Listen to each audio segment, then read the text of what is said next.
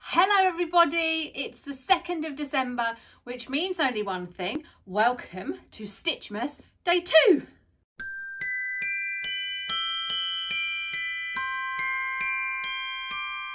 For today's Stitchmas, I'm going to be showing you how to turn this to this. This is a fleecy throw that I've picked up from Wilkinson's. It was actually reduced from £10 to £5. There aren't any online at the moment, so I won't link it below, but you can get them still in store so it's worth having a look. And they do them in a variety of colours. This isn't an advert it's just a bargain I found. Now this particular throw is 130 centimetres by 170 centimetres. You will not need all of this. You can get a couple of hot water bottle covers maybe three or four out of this. So this is a really great investment for five pounds.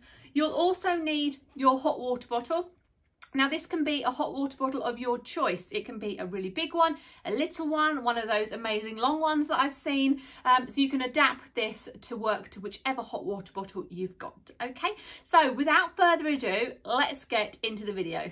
We're going to start just by unwrapping it. Now I'm going to keep back this ribbon because I'm actually going to use it in my project. So if I just snip this off here, little bit of a hole, but that's perfectly fine. Then I'm just going to snip off these Velcro bits as well. They can go in the bin. This one and this one. So really using as much of this as we can, which is fabulous. So we're going to put these aside and we'll use these later on. So we open up our lovely throw. Oh my goodness, it is so soft. Wow, look at that. Isn't it lovely? Now there is a right and a wrong side to this. I can just see a slight difference. So do bear in mind, this is huge. So you will get a few out of this. This fabric is super, super soft. So if you want to stabilise this in any way, then do feel free to do so. Right, so the first thing we want to do is lay our hot water bottle on our fleecy fabric.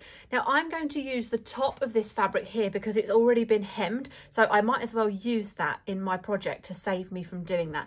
So I'm going to lay the top of the hot water bottle about three inches down from the top, and I want to cut out a margin of at least three inches all the way around. So I'm just going to use my rotary cutter and I'm just going to cut out a square of fabric and it's certainly going to make it a lot more easy for me to manage. So now we want to cut this out. So we want a really nice curved edge around the bottom here.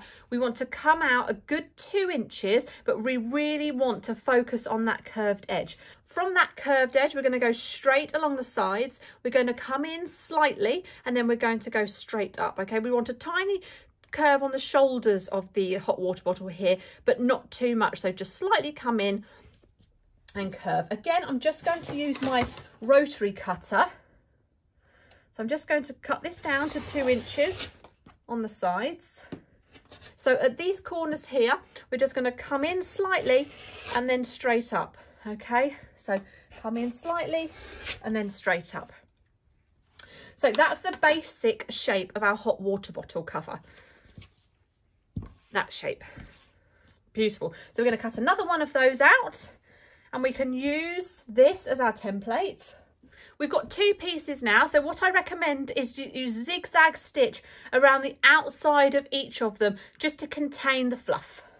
So we've got our front and our back piece. What we need to do now is to create the channel in which our ribbon is going to sit.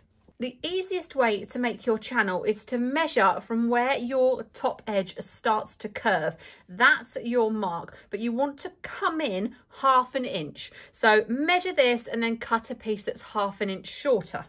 So there's my two channel pieces. Now, of course, these are super fluffy again. The best way, again, is to go over those edges with your zigzag stitch. You want to do all four edges.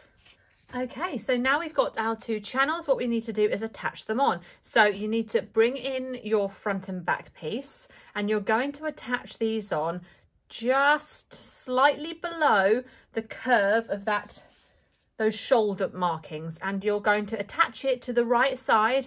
We're just going to pin it together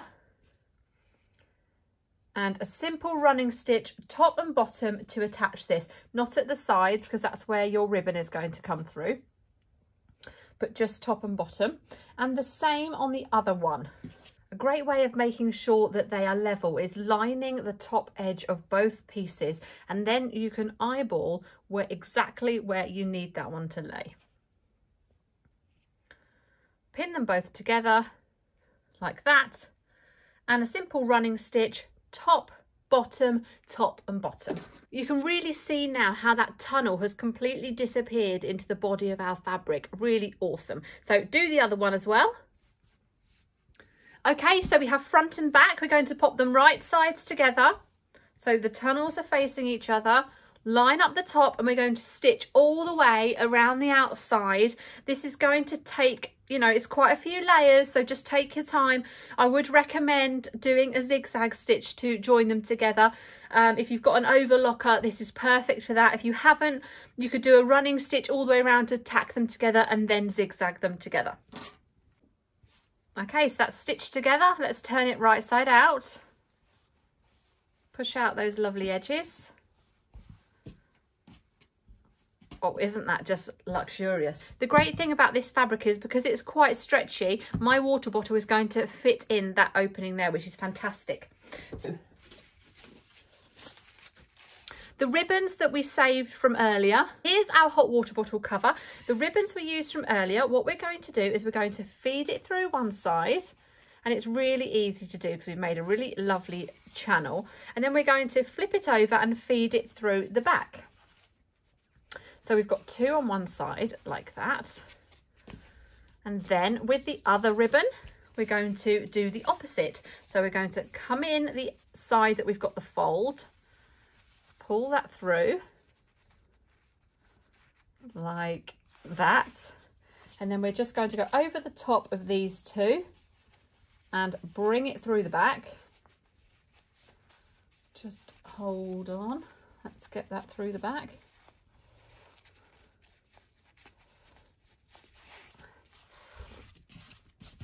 So now we've got ribbons either side. You can take hold of both and then you can pull it.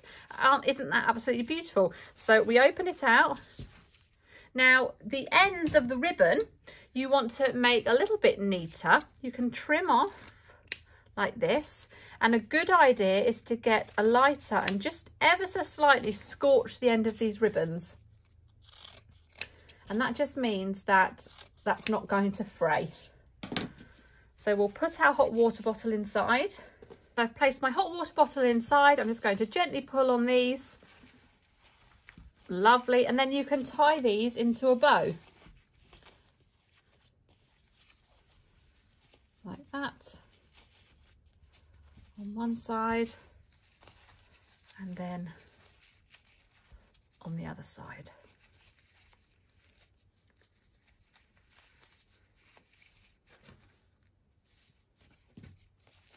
Obviously your your bows will probably be a bit neater than my bows, but you get the idea. So there we go. There is our super hot water bottle cover. There we have it. There's the finished hot water bottle cover. I am thrilled with this. I think it looks really, really cute. I know of a little cute girl that would really enjoy this and probably her mum would enjoy it too. So I hope that you have a go at making this. I know the fluff can be a little bit difficult, but just hang in there and maybe stop and clear out the fluff from your machine as you go. That would be a really great piece of advice.